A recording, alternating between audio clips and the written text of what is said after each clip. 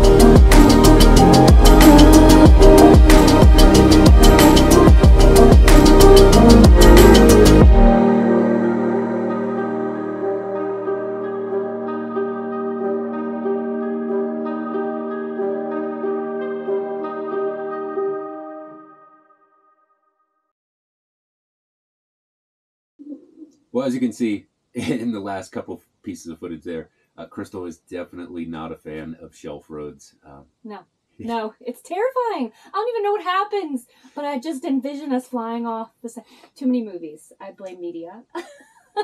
we'll go with that. She's envisioning our whole house rolling down the side of the mountain, which is, is, definitely not going to happen. But no, I, I trust you. It's not a trust thing. It's a terror. I don't know what it is. Anyway, we drove from there all the way to Mount Rainier. And Mount Rainier is just, there's something magical about it. And I know, Haley, you know how magical it is, but the wildflowers and the snow and just, just the, the, the water, the, the animals, it's just incredible. And it's really long, sorry. And um, so we went, we went hiking on the Skyline Trail. Tell me, if you want to hike something really beautiful, please, and you're close by, please take it up. Um, it's just uh, you're you're it is a steep incline. Please know that it is a hike, um, but you get to see snow and the overlooks of the mountain peaks all around. It's just it's incredible. So I felt like I could sing um, for days after that. It just it lifted my heart. So yeah, definitely check that place out. It was definitely a great hike, and here is the footage of that.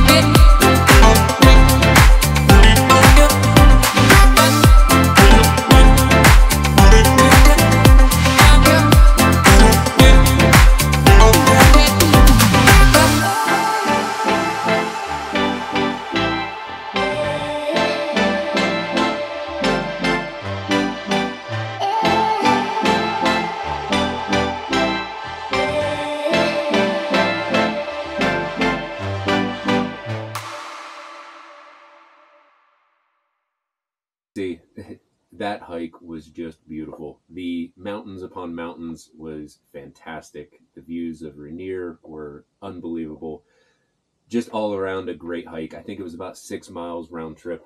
Um, it's a nice big loop all the way around. Certainly, you want to check it out. As Chris said earlier, it was one of her favorite hikes, probably that we've done on this trip yet. Yes. Um, I'd love to go back, and I'd like to summit Rainier. Um, I've seen so uh, we were watching so many people climb up the side of the mountain, which was awesome.